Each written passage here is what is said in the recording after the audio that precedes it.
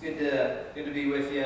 Um, we, we've been journeying through the, the letter to uh, the church in Ephesus. Sometimes I say the book of Ephesians, and then I'm reminded it's technically a letter, um, but it's still a book of the Bible. So whatever you want, letter, book.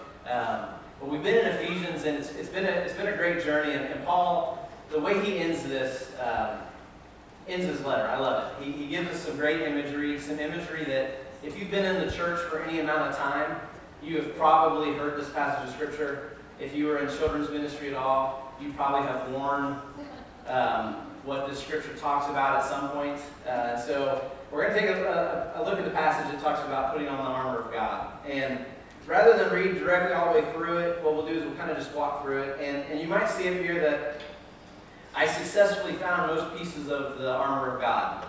Um, but there is one piece missing. Can anybody tell what piece is missing up here just looking? What is that? Yeah. And, the helmet of what? Salvation, Salvation yeah. And I, it's good because there, the words and the descriptions are on there, so in case I forget, I can read it on there. So uh, that's always a, always a good thing not to get confused, get your armor confused. Um, I, I, got. I want to say this. I, have you know this. If you've known me for a little while, you know that I had a stage in my life where I wore Christian T-shirts. Um, and the armor of God just brought up another memory of one of my Christian T-shirts that I had, and uh, the front of the T-shirt said, "Don't fight naked," and on the back it said, "Put on the armor of God." And I wore that in high school. I did. Yes, I did. And I hope that everyone has erased that memory that they have of me wearing that T-shirt as well. Um, but uh, what, what, I love about this passage, the, the imagery in this is, is great. So we're going we're gonna take a look at the pieces of armor here.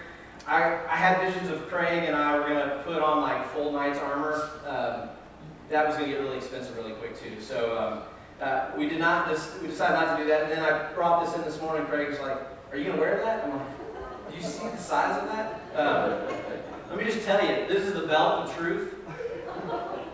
That's more like a crown for me, of truth.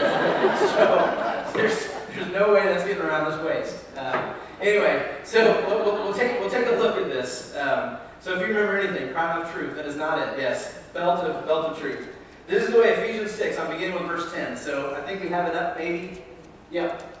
Let me read this because it's slight. This NIV, by the way, if you want to know this, the NIV keeps updating every so often, so I have the 1984 version, which there's a few different words that have been updated, which I think this is the most updated one. So that's why you see some different words when I'm reading my Bible, which happens to be the same one in the Pew Bible. The Pew Bible is the same too. This is a little bit different. So let's, let's look at these verses together. We'll, we'll just stay on this slide for a few minutes here, Jen. Finally, be strong in the Lord and in his mighty power. Put on the full armor of God so that you can take your stand against the devil's schemes. For our struggle is not against flesh and blood, but against the rulers, against the authorities, against the powers of this dark world, and against the spiritual forces of evil in the heavenly realms.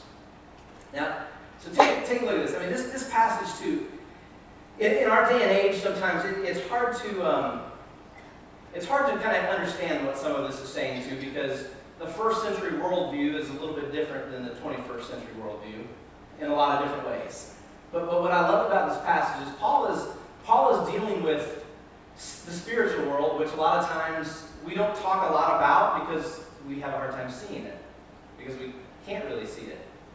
But we can feel it, right? You, you, know what I'm saying? You can, you can sense the Spirit of God. You can sense spiritual experiences. You talk to people, you can say this, I just really felt God's presence. Well, what do you mean? I didn't see his presence necessarily, but I felt it. And so when you're talking about Paul and Ephesians in particular, he, he's talking about this worldview too. The idea is this. The way Ephesians starts in chapter 2, there's this idea too. There's the ruler of the air. And so this, it's this idea of between earth and between the moon in particular, this is kind of the worldview, there's this realm in between the earth and the moon, and that's where all the spiritual forces would battle.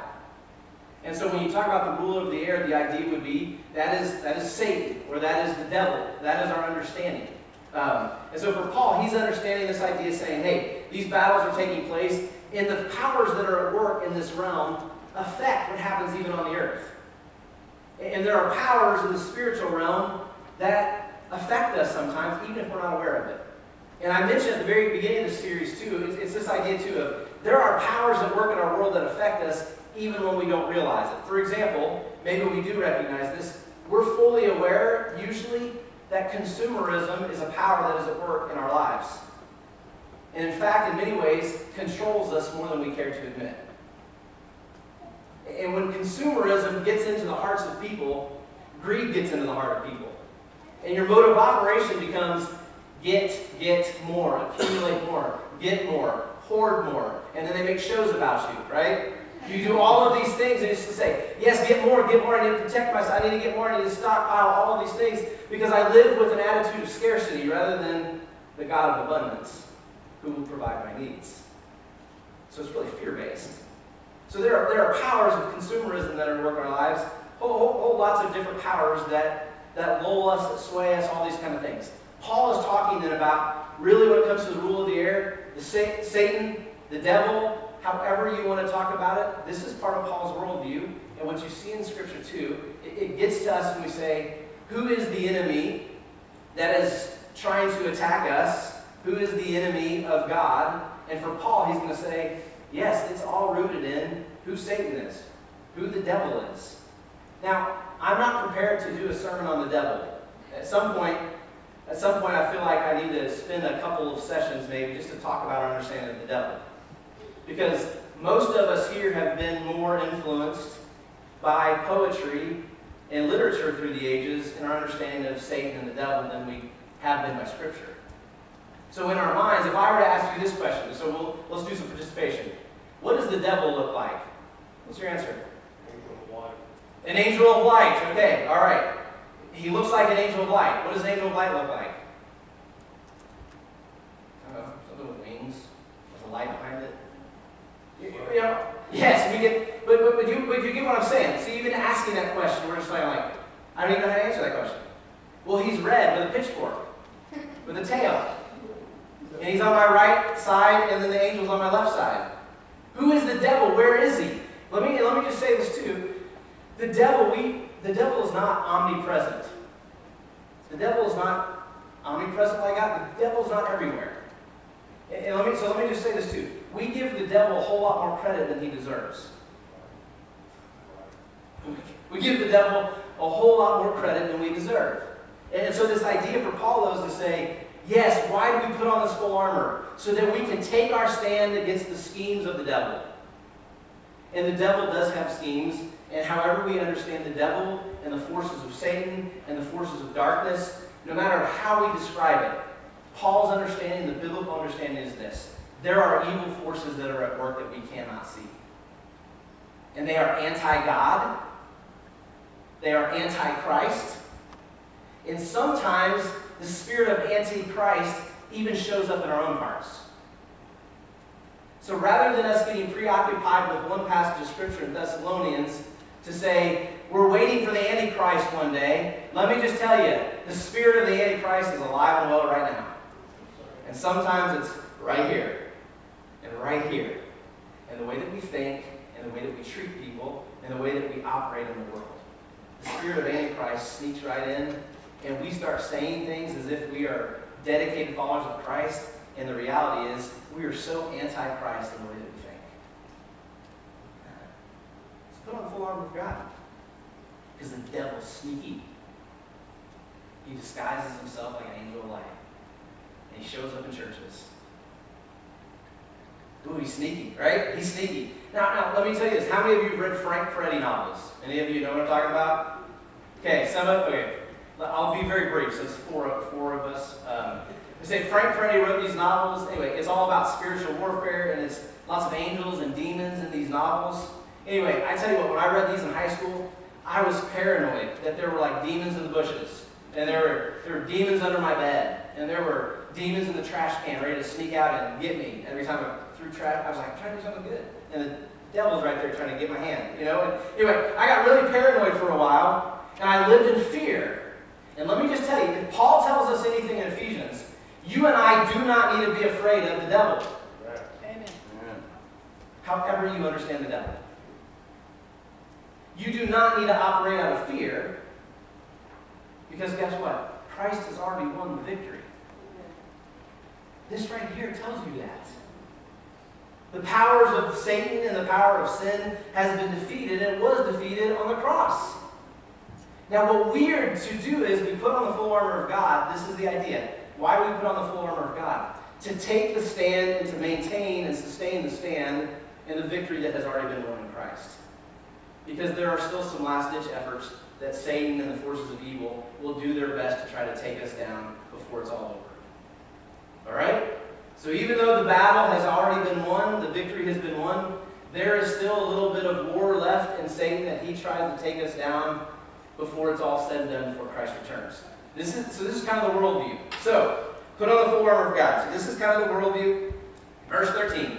Therefore put on the full armor of God so that when the day of evil comes, you may be able to stand your ground, and after you've done everything, to stand. So the armor of God is to keep you standing and to maintain the ground and to say, the victory's been won. And we're going to just take our stand here. And we're going to live in the reality of Christ has already won. But guess what? I still have to put armor on. Because I can still get hurt. And the devil's schemes are still at work before Christ returns. And so this is the imagery. So we, so we, get, we get to the armor here. Stand firm then with the belt of truth buckled around your waist. It is not the crown. Anybody want to put this on? You know, I was going to give this out to yeah, whoever can fit this. If this can fit around your waist, it is yours. Um, this is definitely not mine. The belt of truth. So some of the imagery. You put the belt of truth on. What you know is this. Satan, his schemes, the forces of evil, very deceptive. The whole nature of sin. You'll read in the book of Hebrews. It'll say the nature of sin is self. It's very self-deceiving. So that you and I are full off into a life of sin and we don't even realize it. That, that the idea is that, yes, clothe yourself with the belt of truth. Put the belt of truth on. This is what Christ is about. This is how we overcome and take a stand. We refute whatever Satan has to say, and you refute him with the very truth, the truth of the word. We'll get to the word specifically in just a moment. So, verse 14, put on the uh, belt of truth. Then with the breastplate of righteousness in place. Okay, I can't even tell the difference between the breastplate and the shield, but uh, here it is. That leaves a lot of things very vulnerable on my body right now. Um, so let's uh, get on a large, uh, um, yes, breastplate of righteousness. Um, and, I, and I think with this, when you talk about the word righteousness, part of this too is simply, you can define it a couple different ways. You can say righteousness is, it's a way to say that God is all about doing right things. He calls us to do what is right. A better, deeper understanding, probably, not better, but a deeper understanding is righteousness. Whenever you see this in Scripture, righteousness is about right relationships with God and with other people. So when you talk about doing what is right, it is about being right rightly related to God and rightly related to one. Let me say it this way Love the Lord your God with all your heart, mind, soul, and strength, and love your neighbor as yourself. In fact, Matthew 5 will say, even love your enemies. You want to be rightly related to your enemies? Here's the call of Christ love them. It's not an easy call. Let me, let me just tell you Satan will do whatever he can to generate as much hate in you as possible for the enemy. And who's the enemy? Well, it's all those illegals, perhaps, right? Or Muslims, or anybody else that has another label other than me. And what Satan does is, hey, you're a follower of Christ, I can get hate to happen in your heart towards another human being who's been created in God's image too. And then we find ourselves cursing other human beings who have been created in the image, the same image that we were created in. And James will tell us, how can it be that both blessing and curse come out of the same mouth? You got to tame the tongue because it's full of poison. And Satan, Satan, he didn't have to do anything with this. We, we pretty much, we do this ourselves. And James will say the same thing too.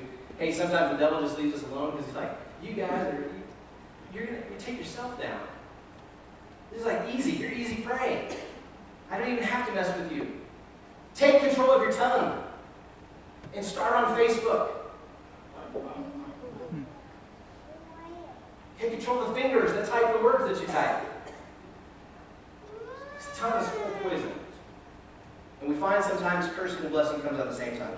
So, breastplate of righteousness, the belt of truth. What, is it, what does it go here, here to next? Stand firm then with the belt of truth. Put the breastplate of righteousness in place, and with your feet fitted with the readiness that comes from the gospel of peace. Now, they did have, I love that these are like shin guards. Um, so, in case you're going to play soccer with the devil, uh, be prepared, right? But, but this, these are for the feet, and the, this all is part of the, the feet. The idea is this gospel of peace. So the idea is this part of the way we take our stand against all the powers of darkness is to be prepared with the good news of the message of peace. And this goes back, this is, this is completely related to this too. What does Jesus call? Blessed are the peacemakers.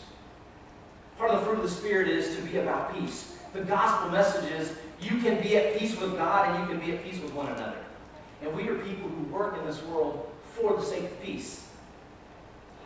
So fit, fit it on. Get the, get the shoes ready and get moving out into the world with the message of you can be at peace with God. And you can be so through the person of Jesus Christ. All right? So we've got the shoes on, we've got the shin guards on, whatever you want to use. And with your feet fitted with the readiness that comes from the gospel of peace. Verse 16.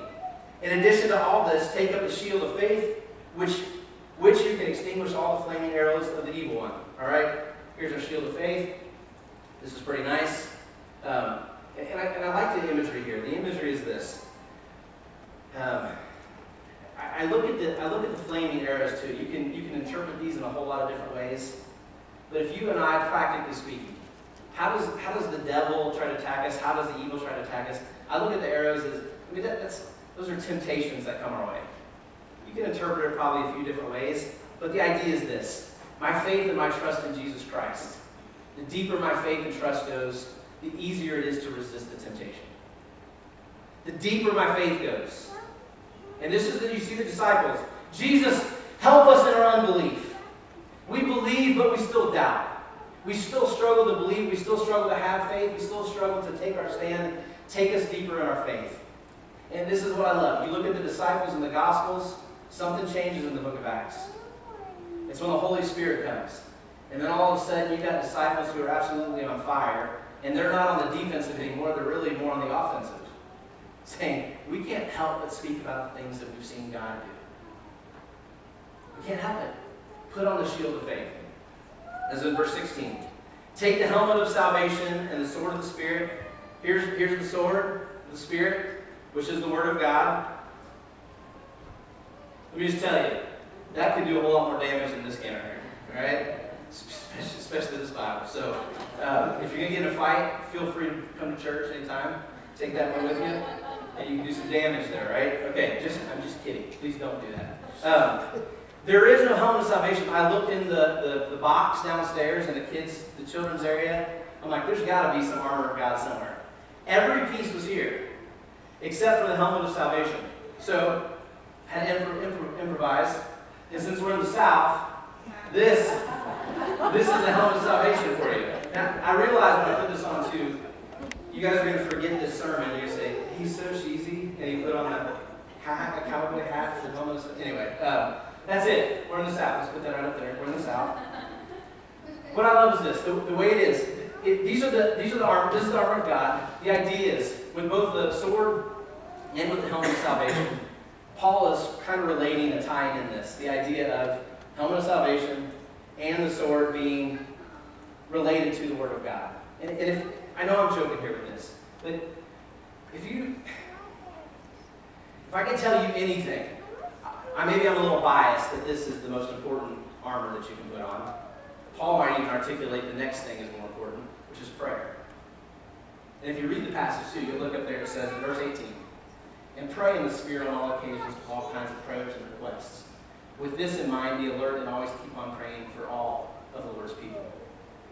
If, I can say anything to you, though, if you and I, as, as followers of Christ, um,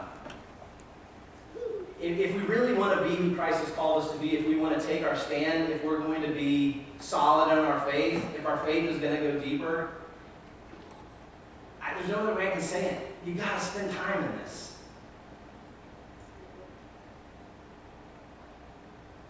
And in every church I've served at, the, the, the common response I get is like, well, how are you spending time in the Word? Ah, man, it's just sometimes. And then I ask myself, well, you shouldn't be surprised when you live a life of defeat and you live a life of constant struggle and you feel overcome when this isn't really part of your life. Satan or yourself will eat you up. This right here, salvation is found in here. This is where abundance is coming through too. And it's not just Scripture, it's not only about Scripture. Yes, prayer is intimately related to this as well. But if there's anything I can say, this becomes the sword of the Spirit, which is the Word of God. This becomes both defensive and offensive in a sense to say, whatever the devil's schemes are, you take, you take a cues from Jesus when he's tempted by Satan in the wilderness. What is his weapon? Scripture, it's the Word of God. What's Satan's weapon? The same thing. So you better know it. Because he'll eat your lunch with it. Put on the full of God. Stand firm. The victory's already been won. And I think for us as the church too, this call, I, I think for the I think for the church in America, especially for all of us, we we live in so much defeat and forget the victory's already been won. We live in fear when death has already been defeated. And we live our Christian lives way too often limping around, wondering, why is it so tough all the time? I'm not saying that Christian life is easy. There is suffering and there are tough parts of the Christian walk. But even in the midst of the struggle and suffering, you and I can be victorious in and through Christ Jesus. The way it ends, go ahead, let's go to the last couple slides. The way the passage ends, verse 19, pray also for me, that whenever I speak words, whenever I speak, words may be given me so that I will fearlessly make known the mystery of the gospel, for which I am an ambassador in chains. Pray that I may declare it fearlessly as I should. Tychicus, the elder, the dear brother and faithful servant in the Lord, will tell you everything, so that you also may know how I am and what I am doing. I'm sending him to you for this very purpose, that you may know that you may know how we are, and that he may encourage you. Peace to the brothers and sisters in love with faith in God the Father and the Lord Jesus Christ. Grace to all who love our Lord Jesus Christ with an undying love. As, as we wrap up and we close with prayer in just a moment, I, I think this, if, if, you, if you just hear this the first message you got from this, this whole letter to the church of Ephesus, um, Paul, his whole sweep, the whole sweep of his letter, his, the whole tenor of his letter is this. We've been chosen from the foundations of the world to be a, to be a people who are just like him. To be a light in the world just as Christ is the light of the world. He calls the church to be the light. And what you and I need is this. We need a whole lot of grace, a whole lot of help. And the way that God has structured the body of Christ is this. Not only do we need to put on the full armor, and what I love about this, the way the language is, this isn't just put on cool armor. It, this is the armor God wears. And what God says to all of us is, here's my armor. It works. Take it on. I give you my armor. You will take your stand and will be with confidence that you take your stand against the schemes of the devil. But the whole flow of the scripture is we are the church. Yes, there is a battle that's happening, that, not against flesh and blood. So, so, in some sense, remember who your enemy is. To a large degree, if you take anything from the sermon, is this. Hear this. Another human being is not your enemy.